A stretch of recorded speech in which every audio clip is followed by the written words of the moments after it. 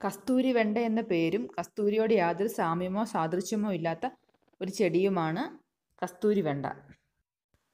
രൂപത്തിൽ വെണ്ടയോട് സാദൃശ്യമുള്ള ഈ ചെടി ഒരേ സമയം പച്ചക്കറിയും ഔഷധവുമാണ്. കസ്തൂരി വെണ്ടയുടെ വിത്തും ഇലയും വേരുമെല്ലാം ഔഷധ ഗുണമുള്ളവയാണ് മഞ്ഞ നിറത്തിലുള്ള പൂക്കളാണ് ഇതിലുണ്ടാവുക. സാധാരണ വെണ്ടയേക്കാൾ നീളം കുറഞ്ഞതാണ് കായ്കൾ. കായ്കളിൽ ചെറിയ രോമങ്ങൾ പോലെ ഉണ്ടാകും ഇലകളിലും അതുപോലെ തന്നെ ഉണ്ടാകും.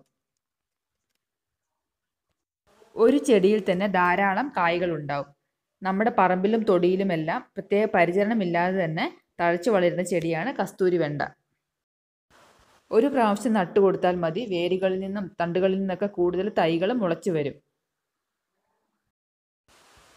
കായ്കൾ ഉണ്ടായി പെട്ടെന്ന് തന്നെ പറിച്ചെടുക്കാൻ ശ്രദ്ധിക്കണം. അല്ലെങ്കിൽ കായ്കളിൽ നിറയെ നാരികൾ നിറഞ്ഞ് അവ ഉപയോഗശൂന്യമായി പോവും. കസ്തൂരി വെണ്ടയ്ക്ക കൊണ്ട് സാമ്പാർ അവിയൽ തോരൻ ഇവയെല്ലാം ഉണ്ടാക്കാൻ സാധിക്കും. നല്ല രുചിയുമാണ്. ധാരാളം മാംസ്യവും അന്നജവും നിറഞ്ഞതാണ് കസ്തൂരി വെണ്ട. ഇനി ഇതിന്റെ ഗുണങ്ങൾ എന്തെല്ലാമാണെന്ന് കൂടി നോക്കാം.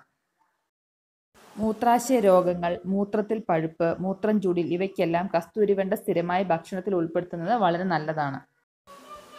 കസ്തൂരി വെണ്ട സ്ഥിരമായി ഉപയോഗിക്കുന്നത് ദഹനം മെച്ചപ്പെടുത്താനും അതുവഴി മലബന്ധം ഇല്ലാതാക്കാനും സഹായിക്കും. രക്തത്തിലെ പഞ്ചസാരയുടെ അളവിനെ നിയന്ത്രിക്കാൻ കഴിവുള്ളതുകൊണ്ട് ഇത് പ്രമേഹ രോഗികൾക്കും വളരെ നല്ലതാണ്. കാഴ്ചശക്തി വർദ്ധിപ്പിക്കാനും കസ്തൂരി വെണ്ട സ്ഥിരമായി ഉപയോഗിക്കുന്നത് വളരെ നല്ലതാണ്. പാമ്പ് വിഷത്തിനു വരെ കസ്തൂരി വെണ്ട നല്ലൊരു പരിഹാര മാർഗമാണ് വായ്പുണ്ണ് വായ്നാറ്റം ചുമ തുടങ്ങിയവയ്ക്കെല്ലാം കസ്തൂരി വെണ്ടയുടെ വിത്ത് പൊടിച്ച് തേനിൽ ചാലിച്ച് കഴിക്കുന്നത് വളരെ നല്ലതാണ്. ചൊറി ചിരങ്ങ ഇവയ്ക്കെല്ലാം കസ്തൂരി വെണ്ട സമൂലം പാലിൽ അരച്ച് ചേർത്ത് കഴിക്കാവുന്നതാണ്. ശരീരത്തിലെ ചീത്ത കൊളസ്ട്രോളിനെ ഇല്ലാതാക്കുക വഴി ഹൃദയാരോഗ്യം സംരക്ഷിക്കാനും കസ്തൂരി വെണ്ട ഉപയോഗിക്കുന്നത് സഹായിക്കും. ശരീരത്തിലുണ്ടാകുന്ന വേദനകൾക്കെല്ലാം ഒരു മരുന്ന് കൂടിയാണ് ഈ കസ്തൂരി വെണ്ട.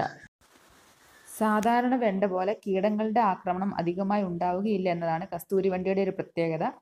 ഇപ്പോൾ ആരും തന്നെ വളർത്താത്തതിനാൽ ഇതിന്റെ വിത്ത് കിട്ടുകയ്ക്ക് വളരെ പ്രയാസമായി തുടങ്ങിയിട്ടുണ്ട്. എന്നാലും ഔഷധ ഗുണങ്ങൾ നിറഞ്ഞ ഒരു കസ്തൂരി വെണ്ട ചെടി നമ്മുടെ വീട്ടിലും നട്ടു വളർത്താനായിട്ട് നമുക്ക് ശ്രമിക്കാം.